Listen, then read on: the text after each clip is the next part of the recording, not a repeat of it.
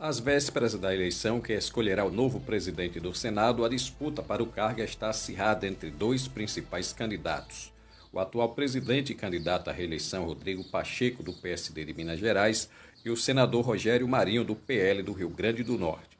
Pacheco possui o maior número de votos, mas o apoio a Marinho, candidato do PL, vem crescendo nos últimos dias. O pleito acontece nesta quarta-feira, dia 1. Para vencer, o candidato precisa de pelo menos 41 votos favoráveis. Se ninguém atingir esse número, a votação então vai para o segundo turno. Também disputa o cargo o senador Eduardo Girão, do Podemos do Ceará.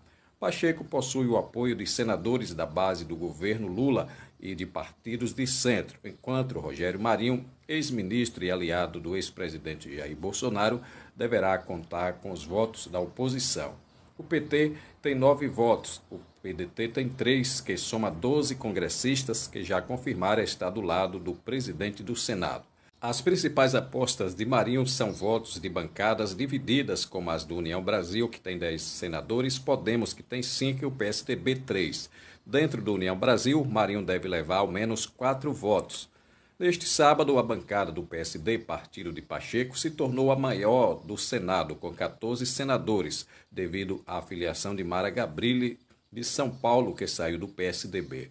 O posto antes era ocupado pelo PL de Marinho, partido que elegeu mais senadores e que agora é a segunda maior bancada, formada por 13 parlamentares.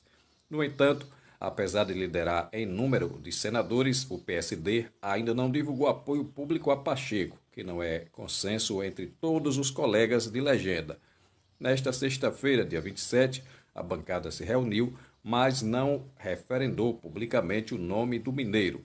Uma parte do PSD quer que o partido assuma mais cargos e está descontente com a influência de Davi Alcolumbre do União Brasil na gestão de Pacheco.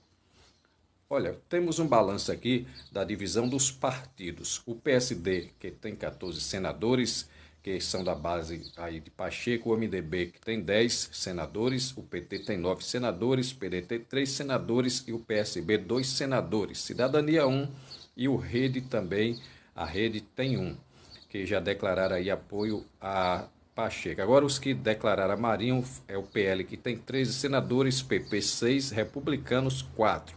Ainda não se posicionaram a União Brasil, que tem 10 senadores, Podemos com 5 e o PSDB, que tem 3 senadores.